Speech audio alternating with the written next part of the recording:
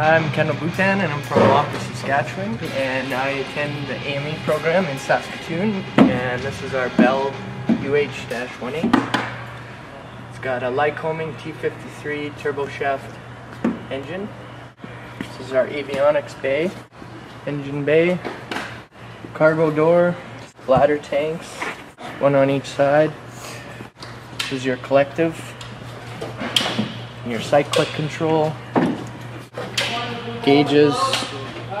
Hi, my name is Tyson Phillip. Uh, I'm at the Saskatoon Aviation Learning Center here in Saskatoon. This is the nose of the UH-1H. In the nose we have our battery and we also have wiring for our instruments for different readings of the engine parameters. We have our joystick. We have our collective that controls the uh, pitch of the rotor blade. The helicopter is utilized with a push-pull rod system, as you can see here.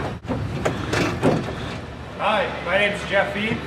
This is the main rotor head assembly on the UH-1H. Power is comes from the turbine engine through your transmission up 90 degrees to your rotor head.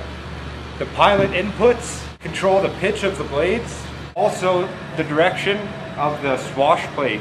Movement up and down is controlled by the pitch of the blades through the collective. The stick in the middle of the pilot controls these three control arms, which controls your swash plate.